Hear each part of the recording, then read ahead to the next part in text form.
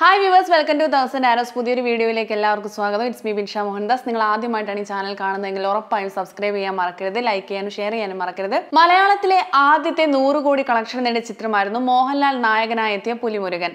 ഉദയകൃഷ്ണ രചിച്ച് വൈശാഖ് സംവിധാനം ചെയ്ത പുലിമുരുകൻ തന്നെയാണ് മലയാള സിനിമയിലെ എക്കാലത്തെയും ഇൻഡസ്ട്രി ഹിറ്റ് രണ്ടായിരത്തി പതിനാറിൽ പുറത്തിറങ്ങിയ ചിത്രത്തിന്റെ റെക്കോർഡ് തകർക്കാൻ ആറു വർഷങ്ങൾക്കിപ്പുറം ഒരു സിനിമയ്ക്കും സാധിച്ചിട്ടില്ല. ഇപ്പോഴിതാ ആ റെക്കോർഡ് തകർക്കുമോ മറികടക്കുമോ എന്നറിയാൻ മറ്റൊരു ലാലേട്ടൻ പടത്തിന്റെ റിലീസ് തീയതി പ്രഖ്യാപിച്ചിരിക്കുകയാണ്. ആറു വർഷങ്ങൾക്ക് ശേഷം മോഹൻലാൽ വൈശാഖ് ഉദയകൃഷ്ണ ടീം ഒന്നിച്ച മോൺസ്റ്റർ ഈ റെക്കോർഡ് മറികടക്കുമോ എന്നാണ് എല്ലാവരും ഉറ്റുനോക്കുന്നത്. കാരണം റിലീസ് തീയതിയും ഇങ്ങടുത്തു. മോൺസ്റ്ററിന്റെ സെൻസറിംഗ് ഇന്നലെ പൂർത്തിയായി. യു എ സർട്ടിഫിക്കറ്റ് ലഭിച്ചിരിക്കുന്ന ഈ ചിത്രം ഒക്ടോബർ ഇരുപത്തിയൊന്നിന് ആഗോള റിലീസായി എത്തുമെന്നും ഒഫീഷ്യലായി പ്രഖ്യാപിച്ചു കഴിഞ്ഞു. ആശീർവാദ് സിനിമാസിന്റെ ബാനറിൽ ആന്റണി പെരുമ്പാവൂർ നിർമ്മിച്ചിരിക്കുന്ന ഈ ചിത്രം ഒരു ത്രില്ലർ ആണെന്ന സൂചനയാണ് ലഭിക്കുന്നത്. ലക്കി സിംഗ് എന്ന കഥാപാത്രമായാണ് ലാലേട്ടൻ ചിത്രത്തിൽ എത്തുന്നത്. ആരാധകർ ലക്കി സിംഗിനെ വരവേൽക്കാൻ ഇരിക്കുകയാണ് എന്ന് പറയുന്നതിന് കാരണമുണ്ട്. ട്രെയിലറിന് ലഭിച്ചത് അത്രയേറെ സ്വീകാര്യതയായിരുന്നു. ട്രെയിലർ പുറത്തിറങ്ങി മണിക്കൂറുകൾക്കകം തന്നെ ഒരു മില്യൺ കാഴ്ചക്കാരുമായ ട്രെയിലർ ട്രെൻഡിങ്ങിൽ നമ്പർ വൺ ആവുകയും ചെയ്തിരുന്നു. ട്രെയിലർ പുറത്തിറങ്ങി ദിവസങ്ങളായിട്ട് മൂന്ന് മില്യണിനടുത്ത് കാഴ്ചക്കാരുമായ ട്രെയിലർ ഇപ്പോഴും ട്രെൻഡിംഗ് ലിസ്റ്റിൽ തന്നെയുണ്ട്. മാത്രമല്ല ട്രെയിലർ കണ്ട് പതിനയ്യായിരത്തിനടുത്ത ആൾക്കാരാണ് കമന്റ് ചെയ്തിരിക്കുന്നത്. ഇപ്പോഴും കമന്റുകൾ വന്നുകൊണ്ടിരിക്കുകയാണ്. പുലിമുരുകന് ശേഷം ലാലേട്ടനും വൈശാഖും ഉദയകൃഷ്ണയും ഒന്നിക്കുന്നു. അതിലും വലിയ പ്രൊമോഷൻ ഈ പടത്തിന് ആവശ്യമുണ്ടെന്ന് തോന്നുന്നില്ല എന്നാണ് എല്ലാവരും പറയുന്നത്. എന്തൊക്കെ പറഞ്ഞാലും ഈ മനുഷ്യനോളം മറ്റൊരു സിനിമാ നടനെയും ആരാധിച്ചിട്ടില്ല. അന്നും ഇന്നും എന്നും ജീവനാണ് എന്നൊക്കെയാണ് കമന്റുകൾ. എല്ലാവരും ത്രില്ലിൽ തന്നെയാണ് ഈ ചിത്രം കാണാനായി. പക്ഷേ ഇതിനിടയിലും നെഗറ്റീവ് കമന്റുകളുമായി കുറെ പേർ വരുന്നുണ്ട്. അത് സ്വാഭാവികം തന്നെയാണല്ലോ. ഇനി ചിത്രത്തിന്റെ താരനിരയിലേക്ക് വരികയാണെങ്കിൽ വൻ താരനിര തന്നെ അണിനിരക്കുന്നുണ്ട്.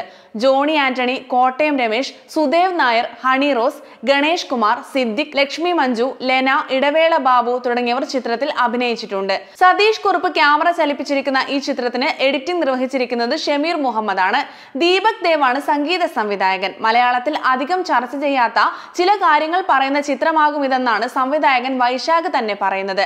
വൈശാഖ് എന്ന ഡയറക്ടർ കിടുവാണെന്നും അദ്ദേഹത്തിന്റെ ഓരോ സിനിമയും വെറൈറ്റി ആണെന്നുമാണ് ആരാധകർ പറയുന്നത്. ഈ വർഷം ഫെബ്രുവരിയിൽ റിലീസ് ചെയ്ത ആറാട്ടിന് ശേഷം പ്രേക്ഷകർക്ക് മുന്നിലേക്ക് എത്തുന്ന ലാലേട്ടൻ ചിത്രമാണ് മോൺസ്റ്റർ.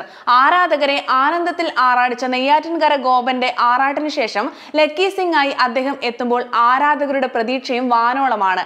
ആരാധകരെ തൃപ്തിപ്പെടുത്താനുള്ള എല്ലാ ചെരുവുകളും ചേർന്ന ഒരു പക്കാ സെലിബ്രേഷൻ ചിത്രം തന്നെയായിരിക്കും മോൺസ്റ്റർ എന്നാണ് എല്ലാവരും തന്നെ പറഞ്ഞുകൊണ്ടിരിക്കുന്നത്. ഇനി മോൺസ്റ്ററിന് ശേഷം ആരാധകർ കാത്തിരിക്കുന്നത് ബ്രഹ്മാണ്ഡ ചിത്രം ബറോസിന് വേണ്ടിയായിരിക്കും. ലാലേട്ടന്റെ സംവിധായക അരങ്ങേറ്റ ചിത്രം കൂടിയാണ് ബറോസ്. നേരത്തെ ചിത്രത്തിന്റെ ഫസ്റ്റ് ലുക്ക് പോസ്റ്റർ പുറത്തുവിട്ടിരുന്നു. ഇതുവരെ കണ്ടിട്ടില്ലാത്ത തരത്തിലുള്ള മേക്ക് ഓവറിലാണ് ഫസ്റ്റ് ലുക്കിൽ അദ്ദേഹം എത്തുന്നത്.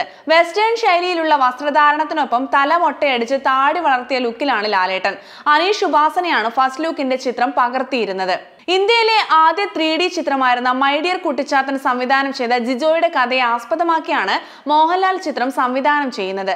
ചിത്രത്തിലെ ബറോസ് എന്ന ടൈറ്റിൽ കഥാപാത്രം ഒരു ഭൂതമാണ്. ഈ കഥാപാത്രമായാണ് ലാലേട്ടൻ സ്ക്രീനിൽ എത്തുന്നത്.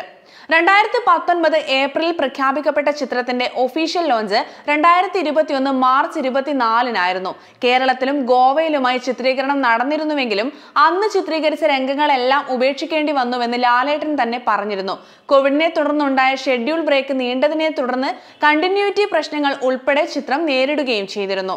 ഇനി ദൃശ്യം ടു ട്വൽത്ത് മാൻ എന്നീ ചിത്രങ്ങൾക്ക് ശേഷം ജീത്തു ജോസഫ് മോഹൻലാൽ ടീമിന്റേതായി പുറത്തിറങ്ങാനിരിക്കുന്ന ചിത്രം റാമും ആരാധകർ ആകാംക്ഷയോടെ ഉറ്റുനോക്കുന്ന ചിത്രമാണ്. അതിന് കാരണം ഈ കൂട്ടുകെട്ട് തന്നെയാണ്. കോവിഡ് കാലത്ത് ചിത്രീകരണം മുടങ്ങിയിരുന്ന ചിത്രത്തിന്റെ വിദേശ ഷെഡ്യൂളുകളാണ് നടന്നുകൊണ്ടിരിക്കുന്നത് ഇപ്പോൾ. യു കെ ഷെഡ്യൂൾ ഇതിനോടകം പൂർത്തിയായിട്ടുണ്ട്. മറ്റു രാജ്യങ്ങളിൽ ചിത്രത്തിന് ഇനിയും ഷെഡ്യൂളുകൾ ബാക്കിയുണ്ട്. ഇങ്ങനെ മലയാളികൾക്ക് എന്നും മനസ്സ് നിറയ്ക്കുന്ന ഒരുപാട് കഥാപാത്രങ്ങളെ സമ്മാനിച്ച നടന വിസ്മയം ലാലേട്ടന്റെ ചിത്രങ്ങൾക്കായുള്ള കാത്തിരിപ്പിൽ തന്നെയാണ് ഓരോ മലയാളിയും